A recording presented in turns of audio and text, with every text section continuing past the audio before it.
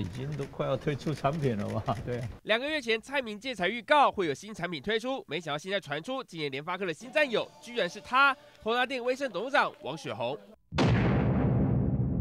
看准威盛旗下威瑞又有 CDMA 技术专利，联发科外传 CS 将宣布双方合作计划，让目前三模三 G 手机晶片直接升级到六模四 G。它本身对这一块不是那么强，你知道，所以说还是要。呃，对外找寻，像威瑞在之前在 CDMA 这一块已经有些有些技术的基础了。不过消息传出后，联发科六号股价只有半天的庆祝行情，收盘下跌百分之零点九二，来到四百三十一元价位。因为市场认为，去年三 G 晶片所向无敌的联发科，在四 G 一开始将面临苦战。我觉得联发科可能还是在布局的阶段，真正要有一些营收获利，我觉得可能要等到明年机会会比较大一点点。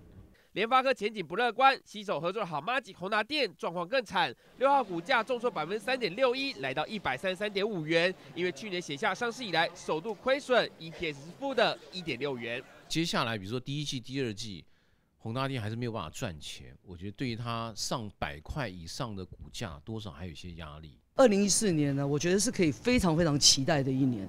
走过惨淡的二零一三，宏达电营运能不能如董事长所说的值得期待？上半年新旗舰机将是关键指标。东森财经新闻做报道。